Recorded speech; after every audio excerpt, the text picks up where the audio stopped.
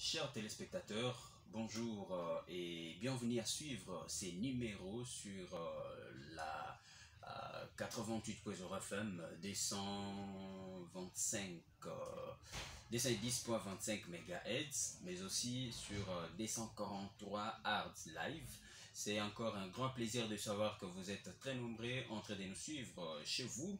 Nous espérons quand même que vous allez kiffer cet entretien. Kings Johnson là c'est celui qui reçoit Marco 6. C'est comme ça moi je l'appelle. Mais les autres l'appellent euh, Marc. Euh, il est le leader de l'orchestre Unité Centrale jadis unité centrale de la seca vente ndeko marc bonjour bonjour bonjour mosala voilà bato ebele bamitunaka baquestion marc ende nani on peut savoir un peu ta petite biographie en synthèse bon marc njiwa Elma mhm.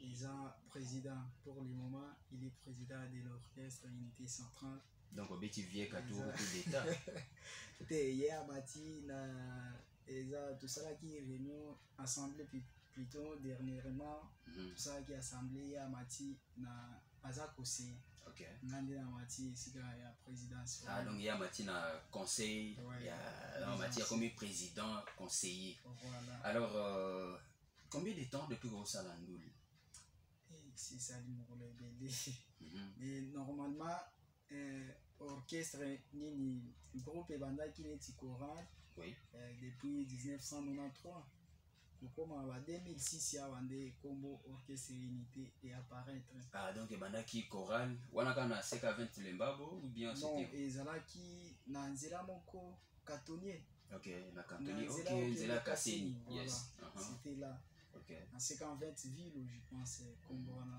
mm -hmm. wana nde ndenge chorale ebandaki mwa malembe malembe ntango ebimaki wana ekomi na bunia wana, wana baevolue kaka na système ya chorale mm -hmm. ba 2006 wana nde ndule oyo ya unité centrale ebandaki ok 2006 nde unité centrale ebandaki mm. cameraman na biso moga sodo héritier okopusana ozwa uh, ndeko mark mpena na mobimba bien toyoka ye mpe na ndenge bien esa mwa bashebelede alors uh,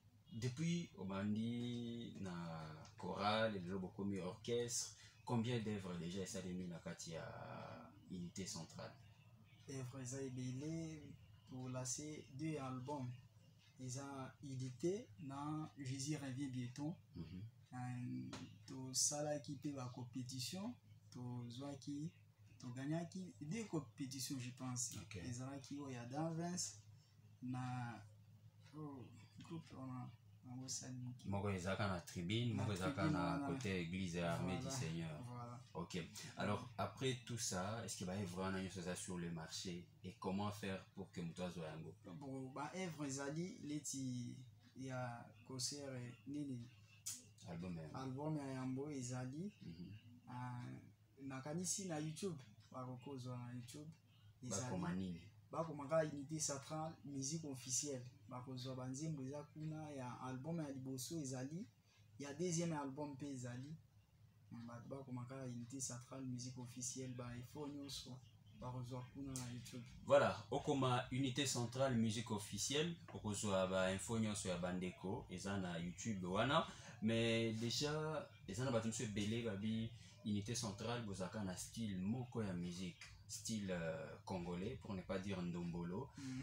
est-ce vrai ou faux est-ce que bobetaka mpe bastyle mosusu bon bastyle mosusu ezali soki bato oyo bakolanda na youtube wana eza nde tokomisi na nzembo yango nyonso te na youtube nini concert mobimba oyo tobetaki na tribune okay. nakanisi na debut wana style oyo tobandaki na yango na tribu na début wana ezalaki style mosusu avant tokóma na système ya ndombolo mhm. eh, bakozala bastyle mosusu maintenant tozonga déjà tokabwana avant que tokabwana quel message okoyebisa bainternaute quel message okoyebisa mpe baauditeur na batelespectateur na biso Bon, biloko na koyebisa na ba téléspectateurs na bato nyonso bazolanda biso na minute oyo mm -hmm. biso orchestre unité toza unité toza conseil toza orchestre religieux okay. na mboka bunia précisément na kotala bango nde na caméra eza bien voilà toza orchestre unité centrale toza awa na bunia na ituri oyo kolela na biso ezaka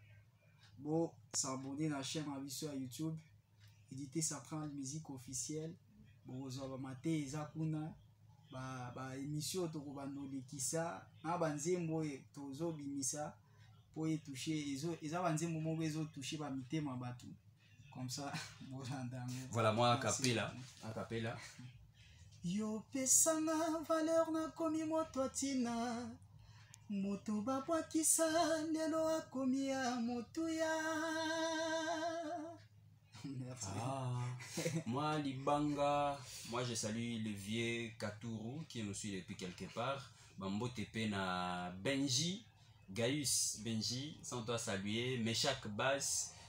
et tous les membres de l'orchestre unité centrale topesi bino bambote et aussi bambote na bato nyonso bakolandaka 243 arts live message na yo bambote napesi mbote na vie na nga eh, le vieux katoro jokaba c'est mhm. mon père ouais, ouais.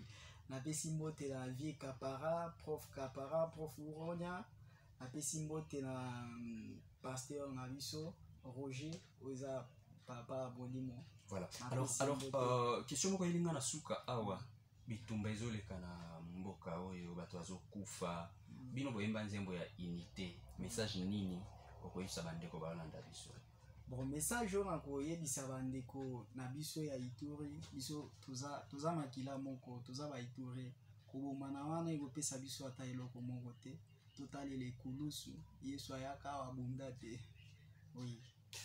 merci merci ndeko marc euh, et merci na baye banso balandi biso nde tokutani na prochain numéro c'était bien sûr 243 live au revoir